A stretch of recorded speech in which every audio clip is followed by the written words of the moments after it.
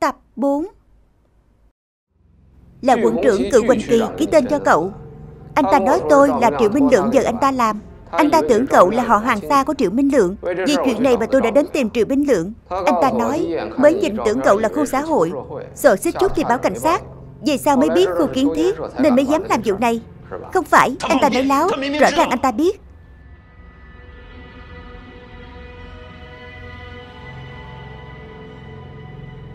Nói tiếp đi. Rõ ràng biết cái gì? Anh ta biết cái gì? Các ngươi đi hỏi anh ta. Cậu đã trả lời thế này rồi Mà còn bảo không quen Triệu Minh Lượng. Tôi hé lộ cho cậu chuyện này nhé. Tôi vừa hỏi chuyện xong Thì ngày hôm sau Anh ta bỏ trốn. Làm chủ tịch xã sớm như vậy không làm Chỉ vì tôi hỏi cậu tí chuyện này mà anh ta bỏ chạy. Nghe hợp lý? không? Anh đi mà hỏi anh ta chứ. À à. Anh ta chạy mất rồi không khỏi được. Anh ta không thoát được. Tôi lại tóm cổ về rồi.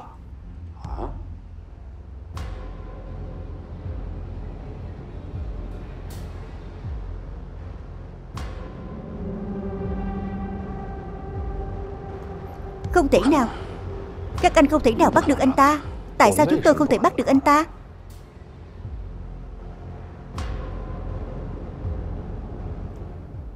Nói.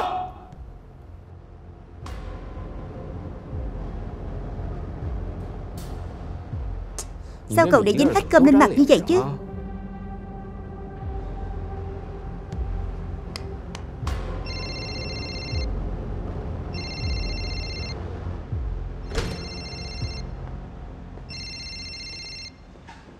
Alo Tuyết Nguyệt. Không thấy ông nội đâu nữa. Lúc đầu gọi điện còn có tiếng Nhưng không ai nghe máy. Gọi tiếp thì tắt máy. Có khi nào điện thoại của ông nội hết pin không Sao ba của ba mất tích mà ba không lo lắng chút nào vậy? Vậy nếu như sau này ba mất tích Có phải con cũng không nên lo lắng không? Không phải. Yên tâm đi con gái rượu. Có khi tí nữa ông về nhà ngay thôi. Biết ngay là không thể nào trông chờ vào ba mà. Con tự đi tìm ông đây. Con bé này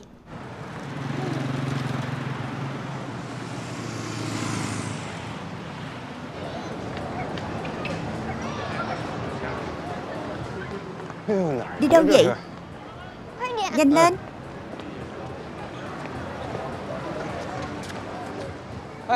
Anh. Anh đến rồi à? Lại phiền anh rồi. Con xem con đó Chỉ biết làm phiền bác thôi. Ba của ba đi lạc ba không lo lắng. Ông nội của con đi lạc con lo lắng lắm. Nghe nó nói kìa. Không sao Đằng nào tôi cũng rảnh không có gì làm. Công trường vẫn đang phong tỏa. Ông già này Nửa đêm nửa hôm thì đi đâu không biết. Ai mà biết được Bên kia nói gì kìa Qua đó xem sao. Được rồi đi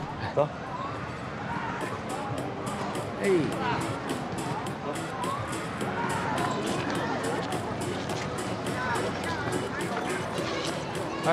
kìa kia kìa Ông ơi, Lại mãi chơi rồi.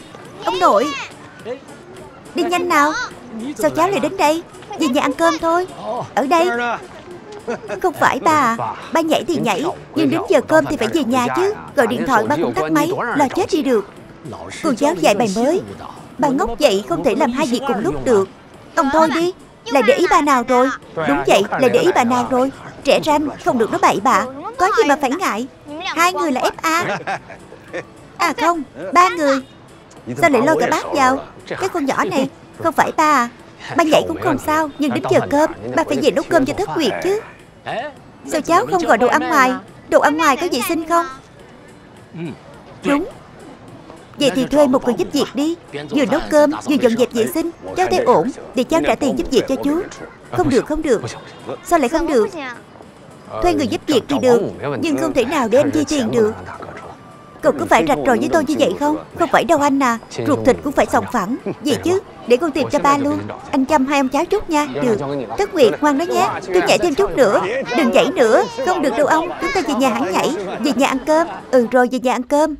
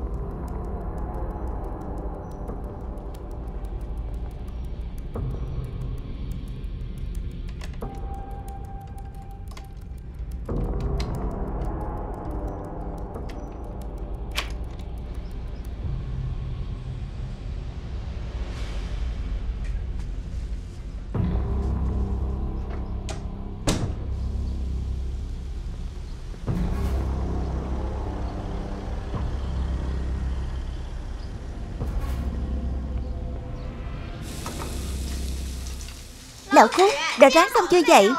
Xong rồi rồi đây. Kiều tiếp, Đã muốn chết rồi. Xong rồi đây, Nào.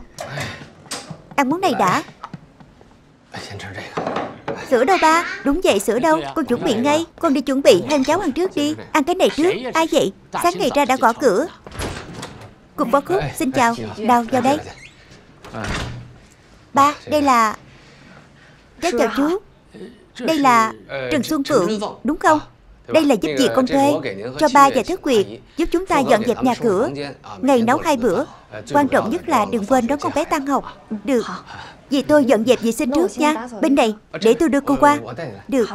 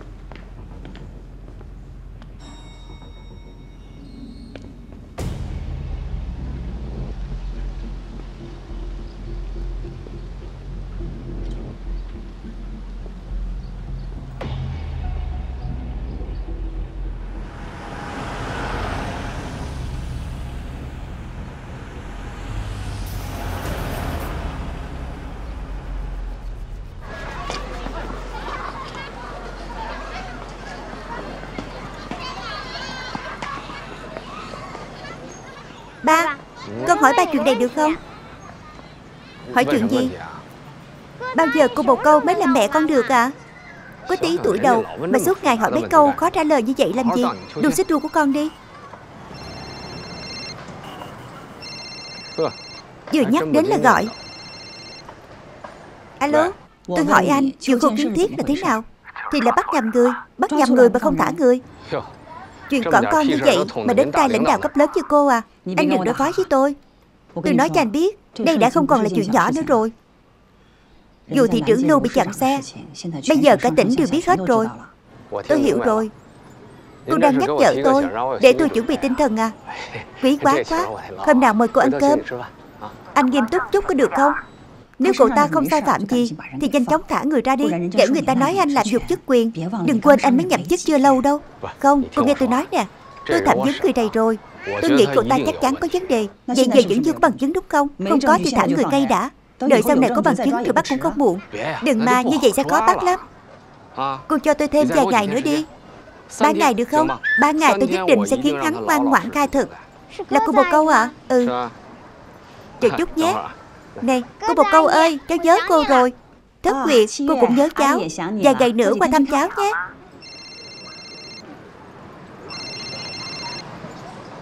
Alo? Anh muốn giữ người cũng phải có lý do chính đáng chứ. Có mà. Cản trở cảnh sát thi hành công vụ. Tấn công cảnh sát gây thương tích. Tấn công cảnh sát nghiêm trọng không? Gãy xương mũi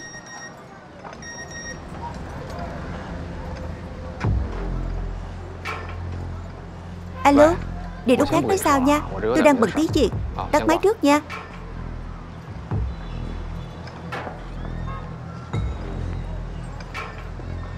Alo Có một bản vẽ cách đây 6 năm. Anh nhất định sẽ có hứng thú. Bản vẽ cách đây 6 năm 3 giờ chiều Quán trà Tân Nguyên. Chỉ mình anh đến thôi. Alo Alo. Nói đi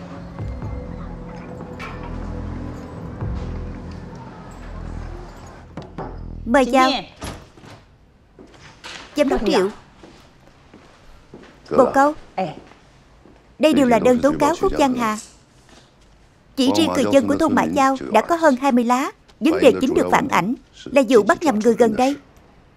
Tôi đã nắm được sơ sơ vụ này. Người họ bắt đúng là không phải khu xã hội Nhưng là tên khu kiến giao tấn công cảnh sát Nên việc tạm giam là chính đáng. Bắt nhầm người Mà còn không cho người ta phản kháng sao Hơn nữa Lúc đó người ta đang lo hậu sự. Vụ này Tốt nhất cô nên đích thân đi một chuyến. Cân nhắc thiệt hơn Xem nên xử lý thế nào. Được, ngày mai tôi sẽ đi Kim Xuyên một chuyến. Bồ câu Tôi chứng kiến cô trưởng thành. Năng lực nghiệp vụ của Khúc Giang Hà. Không có vấn đề gì cả. Nhưng mà Nếu cô muốn cùng cậu ta Chú Triệu, chú Triệu, chúng ta Chúng ta đã nhất trí rồi mà. Không nói những chuyện này ở cơ quan. Được. Vậy thì đến nhà cô nói. Tôi cũng lâu lắm rồi không gặp cụ thủ trưởng rồi.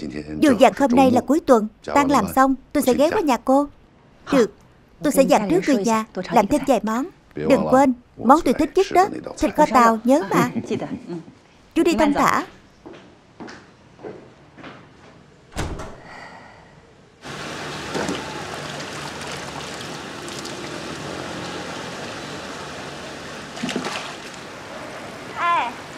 Cục phó khúc Không sao không sao. Anh nói đi anh nói đi ạ. à.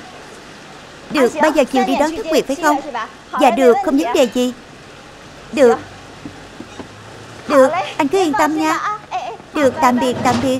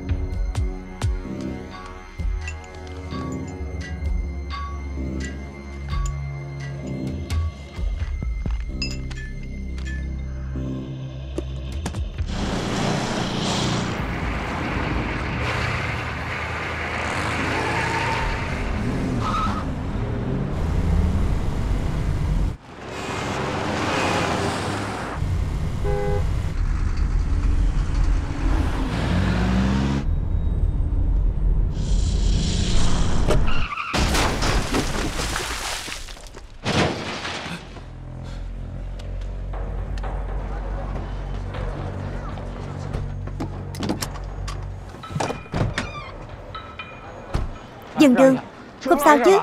Xuân Phượng, Em sao rồi? Đừng động vào vợ tôi. Xuân Phượng, Em sao rồi? Tiểu Trân, Đây là Cục phó khúc Chuyện gì vậy, anh? Không sao chứ. Đừng động vào tôi. Đây là chồng tôi, La Hải. Đây là cục trưởng khúc. Xin lỗi nhé. Xem cô có bị thương ở đâu không? Tôi mặc kệ anh là ai. Anh ta tông người rồi. Chiếc xe máy này vi phạm luật giao thông phải không? Xe máy gì? Đây là xe dành cho người khuyết tật, Tôi có giấy phép. Không sao chứ. Tôi không sao. Gọi cấp cứu đi. Trung tâm cấp cứu phải không? Đúng đúng. Ngã tư khu chợ nông sản có tai nạn xe. Du lộc cho người đến đây ngay. Được được. Anh bạn, là thế này. Hai người cứ đến bệnh viện kiểm tra thương tích trước. Được không? Sau đó thiệt hại bao nhiêu tôi chịu hết. Được không? Tôi còn có việc gấp? Tôi phải đi trước đã. Anh không được đi.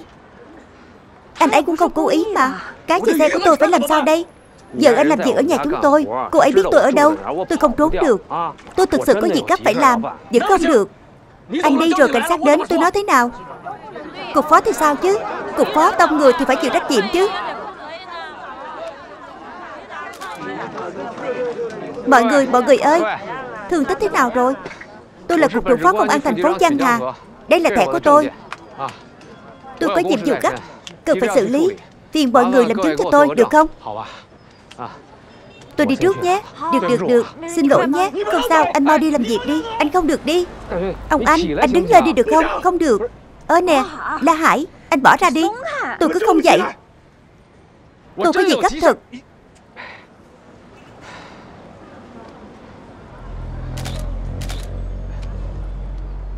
Trác Diệt Tôi đang gặp chút rắc rối. Xảy ra tai nạn xe rồi. Cậu mau lấy xe đến đây đi.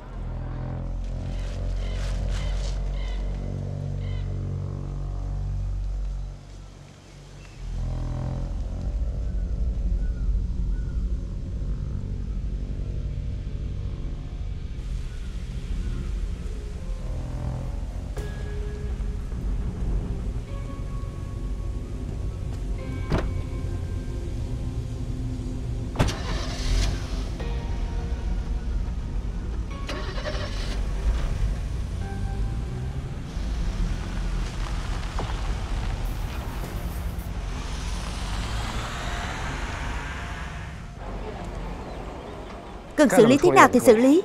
Được rồi. Tiểu Trần nè Cô yên tâm. Dù trách nhiệm có thuộc về tôi hay không Thì tôi cũng sẽ chịu hết Mọi tổn thất và tiền thuốc men. Chính là trách nhiệm của anh. Cục phó cốt Tính chồng tôi là như vậy đó. Anh đừng để bụng nha. Tôi hiểu. Để tôi giờ người khác đi đón con. Hai người đến bệnh viện ngay đi nha. Thành thật xin lỗi anh. Xuân Phượng Em bị đụng đầu đến lẩm cẩm hả? Là anh ta có lỗi với chúng ta. Tôi nói ông anh nè Cảnh sát cũng đến rồi, Chuyện cũng giải quyết xong rồi. Anh có thể bỏ ra được chưa Tôi không buông. Buông ra. Nhanh lên. Nhanh lên. Sư phụ. Cho qua giờ chút. Sao giờ cậu mới tới? Có chuyện gì vậy? Chìa khóa xe. Đưa tôi. Cậu xử lý nha.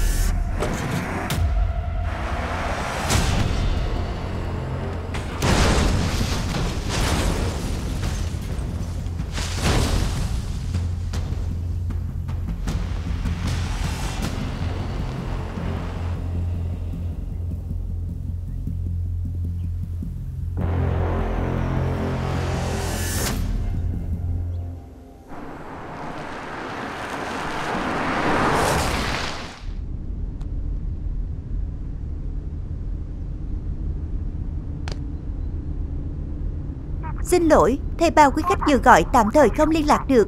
Vui lòng gọi lại sau.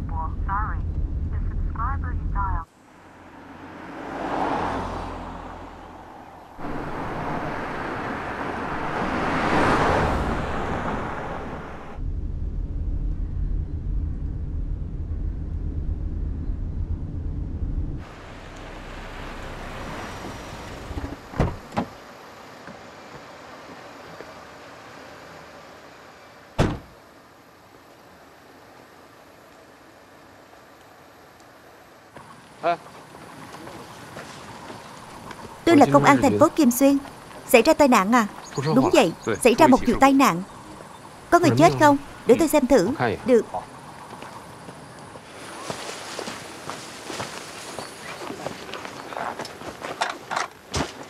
Để tạm đó đã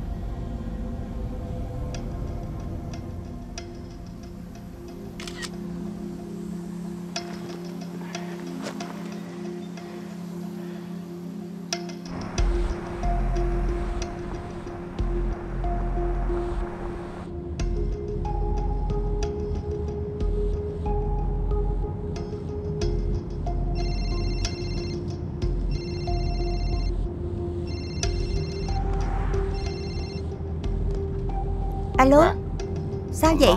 Vừa có người của công an tỉnh Nó phải thả Lưu Kiến Thiết. Cái gì? Tôi về ngay đây.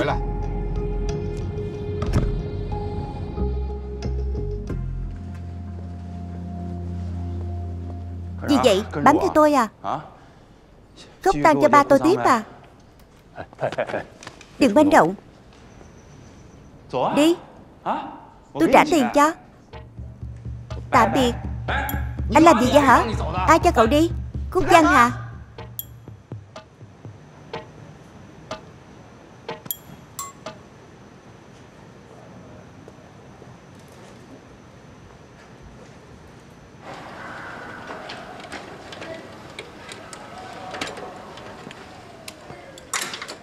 Thế nào rồi? Có kết quả gì chưa? Chúng tôi suy đoán sơ bộ là ống dẫn dầu của phanh bị gãy, Dẫn đến mắc phanh.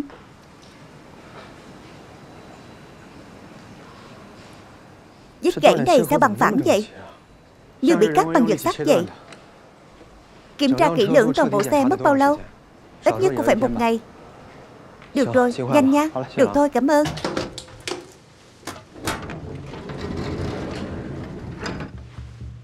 Qua khám nghiệm tử thi, nguyên nhân tử vong là do xuất huyết não và ngực do da đập mạnh trong tai nạn xe, chết tại chỗ. Trên người anh ta có manh mối gì liên quan đến phòng gym, trung tâm tắm rửa hay là ủi đồ trong siêu thị không? Anh chờ một chút.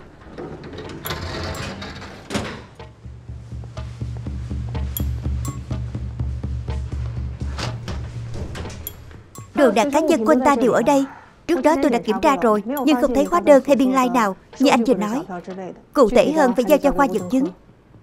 Tôi đã sắp xếp người kiểm tra lịch sử giao dịch hẹn ngân hàng của anh ta. Có thể tìm thấy manh mối liên quan đến tổ hợp số 334 này. Vậy đã có kết quả kiểm tra chưa? Chưa có, vẫn đang điều tra. Nhưng hiện trường xác định là đã bắt phanh dẫn đến lật xe. Mất phanh. Rốt cuộc là do trục trặc hay là do người? Cục quá khúc. Anh nghi là mưu sát hả? Tóm lại anh ta đã gọi điện cho tôi Nói rằng có bằng chứng quan trọng muốn đưa cho tôi xem Sau đó thì xảy ra chuyện. Bằng chứng quan trọng gì? Hình như bức vẽ gì từ 6 năm trước Tôi cũng không rõ lắm.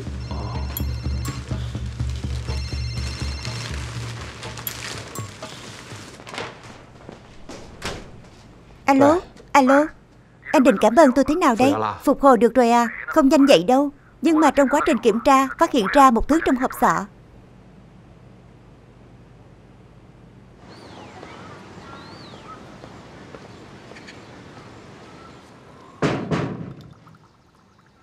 Thầy Em biết thầy ở trong đó. Thầy cho em vào nhà được không? Tôi không muốn gặp cậu, cậu đi đi. Hôm nay em thật sự rất cần gặp thầy. Em có chuyện quan trọng cần nói với thầy. Tôi cũng thưa rồi. Được mà thầy. Triệu Minh Lượng chết rồi. Là chủ tịch xã Kim Đảo hiện tại đó. Vừa mới tai nạn xe tử vong. 6 năm trước Anh ta là kỹ sư đo đạc của công ty chứng khoán Khâm Phát Thầy có ấn tượng gì không? Với cả thầy à. Em vừa nhận được điện thoại từ công an tỉnh Đã kiểm tra được hộp sọ Khai quật tại công trường Hồ Hoa Viên Kim Sơn Cũng chính là hiện trường vụ án 199 Thầy à.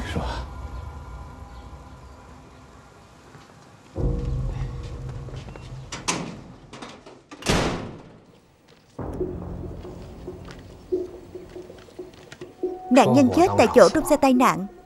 Do bị mất phanh. Em nghĩ chắc là do người làm. Đừng có chắc là phải có bằng chứng Phục hồi sọ rồi à Chưa ạ à? Nhưng kiểm tra ra có một lượng nhỏ Thành phần xi măng khô và cát vàng Thầy à Thời gian tử vong của người này là cách đây 6 năm Hơn nữa sọ của người này cũng bị tổn thương Em suy đoán Có lẽ liên quan đến vụ 199 Hơn nữa cho thấy Lúc ngập nước đóng hầm Có người đang ở dưới Chúng ta điều tra Không thể dựa vào suy đoán Chỉ được nhìn vào bằng chứng Thầy Em biết vụ án năm đó. Thôi bỏ đi. Chuyện đó qua rồi. Không nhắc đến nữa.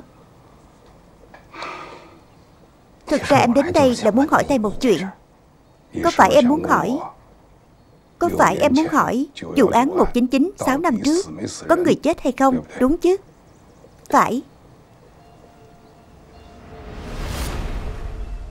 Anh nói xem rõ ràng với giếng có người Mà thông tin không có người thiệt mạng Được lan truyền kiểu gì? Phải, Cục trưởng Tôn, anh đừng nóng. Đại dân Anh lập tức đi tìm thợ mỏ trước đây. Tiếp tục hỏi chuyện điều tra với anh ta. Phải thu thập và tổng hợp danh sách Những người thợ mỏ mất tích Trong thời gian ngắn nhất Xếp thành hình hồ sơ cho tôi. Rõ. Cục trưởng Tôn Đây là một số thông tin tôi điều tra trước đó Những người trong danh sách này Có thể đều không ra nước ngoài được. Về danh sách đâu? Sao em không thấy nó trong hồ sơ? Mất rồi. Danh sách và hồ sơ đều mất rồi. Mất hết rồi sao? Vậy cũng phải có ghi chép chứ. Mọi thứ đã bị mất. Sao em có thể chứng minh được nó từng tồn tại? Không phải Cho dù bị mất Thì những người thợ mỏ kia cũng có thể làm bằng chứng mà. Không có bằng chứng thực tế. Sao em có thể đảm bảo những người này đều nói thật Sao em có thể xác định Những người này không phát ngôn bừa Để tống tiền mỏ khoáng Thầy à Vậy những thợ mỏ kia giờ đang ở đâu? Không biết nữa. Sau khi vụ việc xảy ra Những người này đã nhanh chóng rời khỏi Kim Xuyên Vậy còn gia đình thợ mỏ mất tích kia thì sao? Họ cũng không đến tìm mà. Chính xác là không ai đến tìm cả. Vậy nên Rốt cuộc có ai ở dưới đó không lên được không? Không ai biết hết.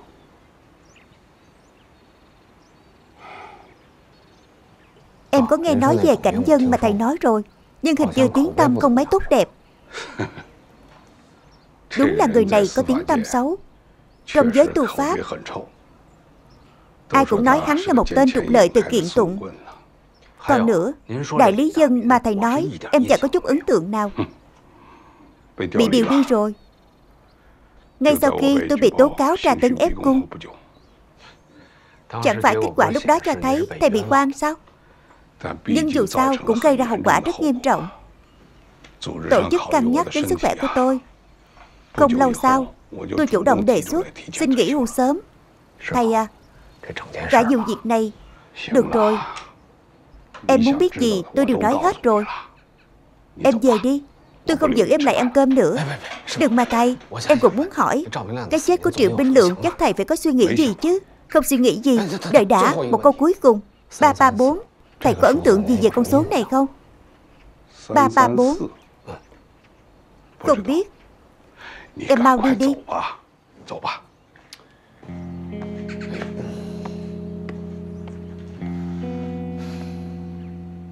Theo kết quả khám nghiệm hiện trường và giám định kỹ thuật, vụ tai nạn xe này là do hệ thống phanh xe bị phá hoại bởi con người, đường ống dẫn dầu bị nứt vỡ rò rỉ, dẫn đến mắc phanh, xe bị lật úp đem vào giải phân cách, cuối cùng xe hỏng người tử vong. Ngoài ra, chúng tôi còn phát hiện người chết đã dùng máu viết vài chữ số dưới vô lăng. Hiện tại vẫn chưa rõ ý nghĩa của chuỗi số này. Chúng tôi cũng đang điều tra. Hành tung của Triệu Minh Lượng hai ngày trước khi chết. Hy vọng có thể tìm được một vài manh mối. Triệu Minh Lượng chỉ là một kẻ thực thi trong vụ danh tính cảnh sát giả của khu xã hội. Nói trắng ra chỉ là một tên sai giặc Tại sao lại có người muốn giết anh ta? Tôi nghĩ rằng phía sau chuyện này chắc chắn không đơn giản. Lẽ nào là khu xã hội giết anh ta? Anh ta chết, khu kiến thiết được thả Thì bên mối đi tìm khu xã hội đứt hết. Chúng ta có thể giả định khu xã hội chính là hung thủ. Nhưng tại sao hắn nhất định phải giết Triệu Binh Lượng có một chi tiết rất quan trọng là Trong cuộc điện thoại Triệu Binh Lượng gọi cho tôi Đã đề cập đến một bản vẽ từ 6 năm trước. Mọi người cũng đều biết 6 năm trước Triệu Minh Lượng là Một nhân viên đo đạc của tập đoàn khai khoáng Kim Phát. Vì thế tôi đề nghị hướng điều tra Nên chuyển sang cái chết của Triệu Minh Lượng Chỉ có dọn củ cải mới có thể mang theo bùn Tôi đã yêu cầu đội cảnh sát giao thông Kiểm tra camera hành trình của Triệu Minh Lượng Dự kiến sẽ có kết quả sớm thôi.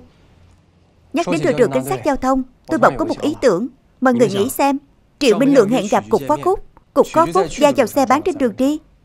Có khi nào là họ cố tình trì hoãn cục phó phúc không Tôi nghĩ đây là một bước đột phá Đề nghị điều tra hai vợ chồng này Hiện trường trong vụ án Triệu Minh Lượng không có bằng chứng trực tiếp nào hướng đến hai vợ chồng La Hải và Trần Xuân Phượng. Việc điều tra song song rất dễ dẫn đến tác động tiêu cực. Có thể tác động tiêu cực nào? La Hải phát sinh mâu thuẫn với cục phó khúc, cách hiện trường vụ tai nạn xe của Triệu Minh Lượng những vài dặm. Cậu cố liên kết La Hải và vụ tai nạn lại với nhau, lại có hơi khiên cưỡng không? Tôi thì nghĩ rằng chẳng có gì trùng hợp. Linh cảm mách bảo tôi rằng mọi sự trùng hợp đều dày công dày dựng. Cậu như này là hơi nặng thuyết âm mưu quá rồi. À phải rồi, Tiến độ điều tra về vụ người rừng thế nào rồi? Tôi và cảnh sát địa phương đã lên núi điều tra mấy ngày Chưa tìm thấy dấu vết nào khả nghi. Thế này đi Cầu trao đổi với đội bảo vệ rừng một chút. Nhiệm vụ tìm kiếm người rừng cứ tạm giao cho họ. Tôi nghĩ trọng tâm công việc hiện giờ Nên là vụ tai nạn xe của Triệu Minh Lượng Được Hổ tử Theo dõi sát sao công trường Hồ Qua Diên cho tôi. Trước khi có kết quả giám định hợp sọ Tuyệt đối không được cho họ khởi công. Tôi biết rồi Hiểu Lư Tôi nghĩ chỉ điều tra hai ngày Trước khi Triệu Minh Đường chết là chưa đủ. Một tuần đi. Nhanh chóng sắp xếp lại Những người anh ta đã gặp Và những nơi anh ta từng đến. Được. Mọi người làm việc đi. Cầm hộ tôi với. Tự cầm đi